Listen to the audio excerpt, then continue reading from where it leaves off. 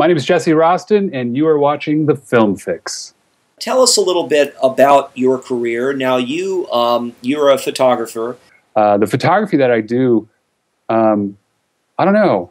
I don't know what to say about it. it it's it's in a way, I, in a way, I'm like I'm trying to to communicate uh, um, some some idea or or emotion in each shot, and in a way, I, am also just exploring light and just exploring uh, objects, people. You have some wonderful shots of some people, and uh, you know maybe you can uh, give us a few, uh, or just talk about one or two. The last the last one I posted here on my portfolio here is called The CEO. It's a guy in a suit. I've seen that he's one. Got, he's got a cigar.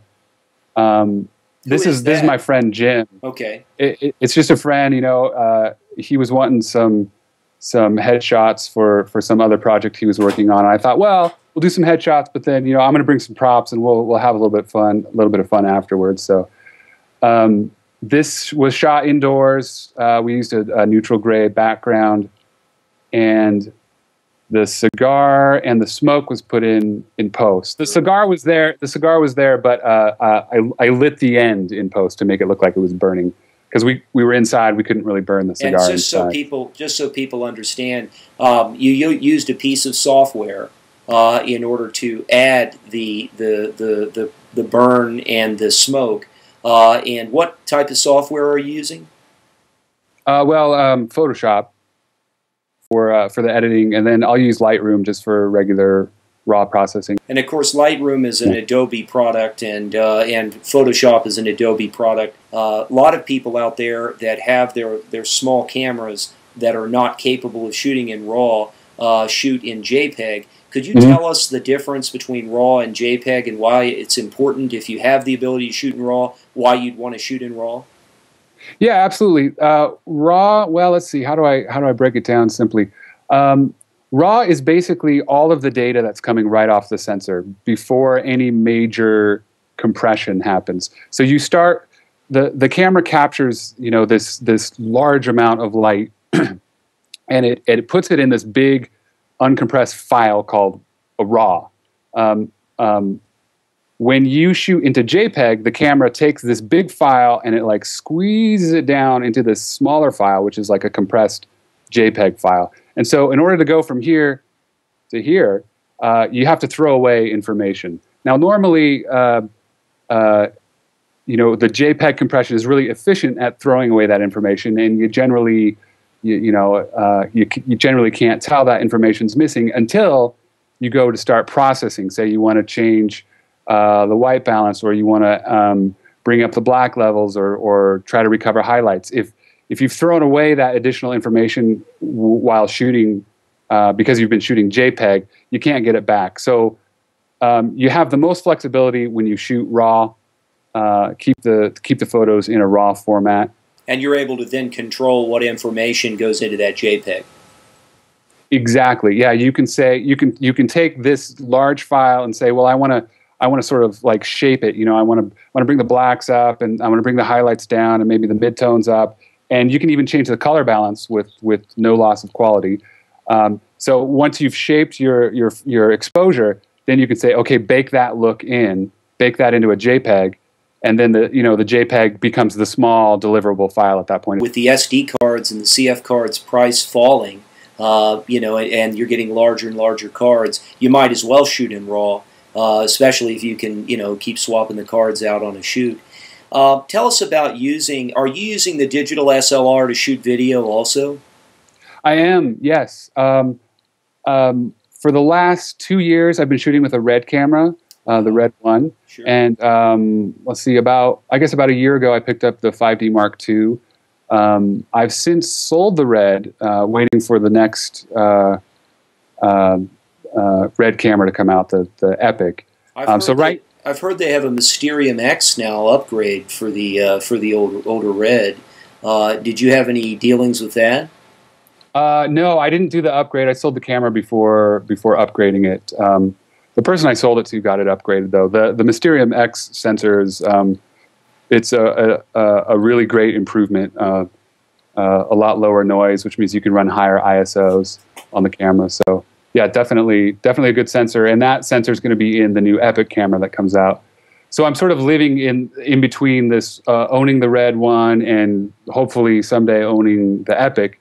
And in the meantime, I'm shooting all my projects on a Canon Mark II, 5D Mark II, and um, you know, honestly, for for uh, 95% of my clients, it works just fine. You know, I've, I've I'm shooting broadcast TV spots with it. Uh, I'm shooting web video with it um, people just really can't tell the difference, especially when you when you're watching something on web. Um, even I can't tell the difference sometimes. It's like I've got a I got a friend back east, and he shoots on red sometimes and 5D other times. He'll send me he'll send me uh, projects that he's working on, and, and it's this sort of game that we we have where I'm trying to guess what camera he shot it on. So uh, well, yeah, the, you know, 5D is a powerful tool. Well, I, I took a 7D to uh, Sundance with me this year, and uh, we've been shooting on the uh, on the uh, the EOS uh, T2i. We have two of them, -huh. and and we've compared the 7D and the and the T2, and and I don't know from a video standpoint if there's really a whole lot of difference in what type of video we're getting out. And if you compare the 5D and the 7D, obviously those cameras, they're starting to creep into the firmware and make the changes that need to be made. And then, of course, you can run, mm-hmm. what is it, Magic Lantern on top of the firmware. Are you doing that? Well, Since since Canon released their uh, 24p up uh, firmware upgrade, I haven't been running Magic Lantern. I, I did in the past. Um, you know, to get the uh, manual control of audio. That's right. That's right. Because the 5D didn't have 24p when it was released, did it? It didn't. It did not have 24p, and it did not have manual audio control. I mean, let's be honest. It's it's not really a true video camera. You know, it lacks uh, almost all the features of of like a real video camera, even a prosumer camera. You know, like uh, professional audio inputs. Um, uh, you know, uh, meters, zebras, uh, audio meters, all that kind of stuff. It's it's lacking a lot of those things. Are you doing any filmmaking uh, with with this, or uh, what did you shoot your iPad movie on? that was the Mark II. That was the 5D Mark II. Shot that in 24, or how did you shoot? What frame rate? Yeah, we we shot it in 24p, and you know, I didn't I didn't use any lighting at all. I just you know bumped the ISO. I mean, it it wasn't a, a commercial project, so I thought, well, I'll just it looks you know clean. do this as quickly as I can. Yeah, what, what would your range be on ISO? Was it uh, did you go higher than 800 when you were doing that? Uh, yeah, for for I believe for the shot in the bedroom where it pans from my feet up to the ceiling, I believe that was like 1200 ISO or maybe higher. It looked nice. Um, it looked clean. I'll have to watch it again. Yeah, I mean when you when you uh, compress it for web, you know, you down res it for web. A, a lot of that uh, grain, you know, it shrinks down as well and gets kind of covered up by web compression.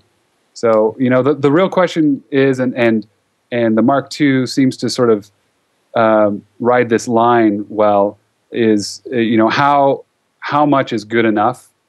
You know, um, certainly if you're shooting uh, a film that's got theater distribution that's going to be shown in you know on a 1080p blu-ray player you know uh, shoot it with a red camera definitely or, or another true uh, 1080p uh, video camera. But if you're shooting stuff you know my, my commercial work gets uh, down res to standard def broadcast. Um, by the time it's down res it's like it could have been shot on a on an iPhone, probably. Tell us what what are you doing now? Is there something you're excited about that you can tell us about? Uh, no, I'm full of secrets. Um, uh, I'm working on a music video right now. Uh, we're just in the preliminary planning stages, and I'm really excited about it. Um, I've had a video. The last video I did ended up on MTV. Um, so um, I'm excited that this video uh, I'm actually putting some like concept to and planning into. So this this was this would be my second music video. Um, the only the only challenge right now is that um, the band doesn't yet know that I want to make a music video for them. So uh, I, am putting all Lucky the pieces them. together. I'm, yeah, I'm putting all the pieces together, and then I'm going to approach the band and say, "Here's the concept. This is going to be awesome you know, it's it's not going to cost you any money. Just I just need your uh, you know participation because it would be hard to make the video without the band.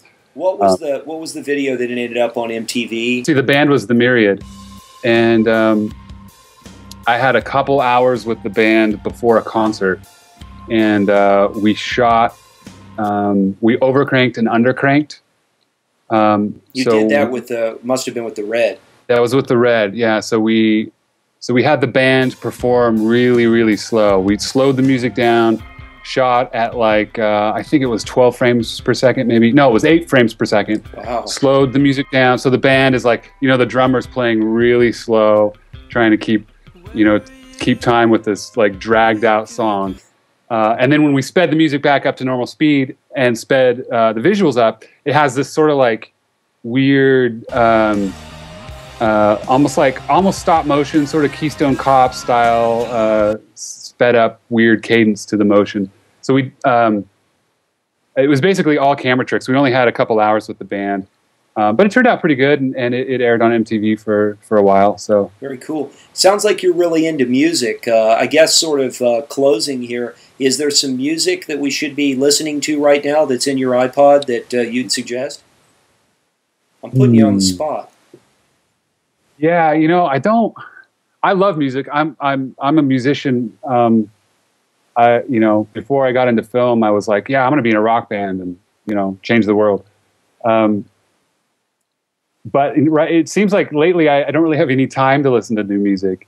Um, but I've been getting into a lot uh, a lot more. Uh, uh, I don't know what to call it, like click hop or or, or glitch hop. Um, so I've been listening to Múm a lot lately. M U M, they're an Icelandic band. Um, interesting, cool stuff. Uh, what else? Yeah, Arcade Fire, their new album just came out. Oh yeah, that, that, I haven't uh, heard that yet. They're great. I've listened through once. It sounds sounds pretty good. Um, yeah, I like music. Well, that's great. And uh, thank you so much for joining us.